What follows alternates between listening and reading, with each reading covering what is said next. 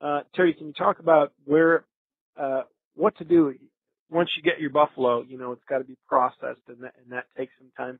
What do you do at that point? Okay, when we take it in, that that's usually an all-day affair. Uh, again, it's that hour's drive in. We don't uh, we don't even field dress them out in the field at all. We do nothing. We go right out, pick them up, and haul them right into the processor.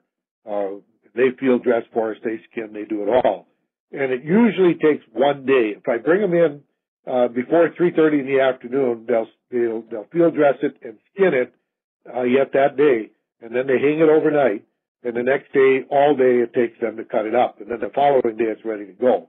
So that day off, there's all kinds of different things to do. First of all, Mobridge is a pretty neat little area. Uh, it's great scenery and, and a great place just to go visit. The Oahe Reservoir is right there. So you can go fishing, if uh, ice fishing as well as, as, uh, rod and reel fishing. Excellent fishing out there. On the ranch itself, we have, uh, great prairie dog hunting, uh, numerous towns out there. And you can go shoot prairie dog if you'd like. If you want to stay an extra day or so, uh, we can do a predator hunt. Uh, we have lots of coyotes out there, bobcat and the like. Those do require a reservation license, uh, which very nominal. Uh, and the, the shooting is great. There's a lot of predators, a lot of coyotes, and a lot of bobcat out in that area. Now, as I understand it, is there also a casino hotel in that area? Yes, uh, there is a casino right there, the Grand River. Uh, uh, and they also have a motel there. Uh, so you can stay right at the casino if you like. They have full restaurant, the whole shop. Uh, very nice done too. It's very clean, very nice, very well taken care of. Very neat. Fantastic. Well, Terry, it's been an absolute pleasure talking with you today.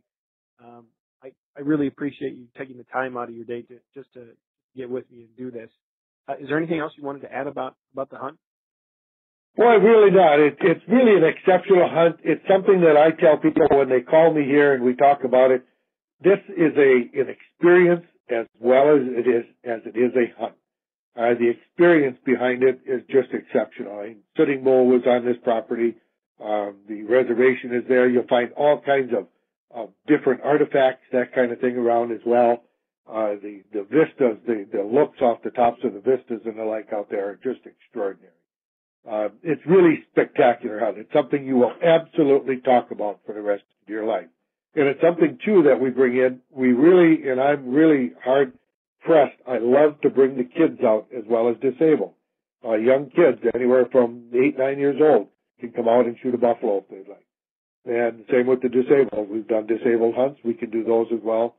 And, uh, it, it, it's just spectacular. That's all I can say. It's an experience and a hunt built all in one and you get to take home a winter supply of meat, which is really a nice touch.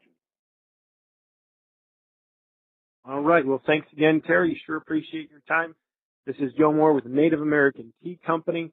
Thank you for joining us today.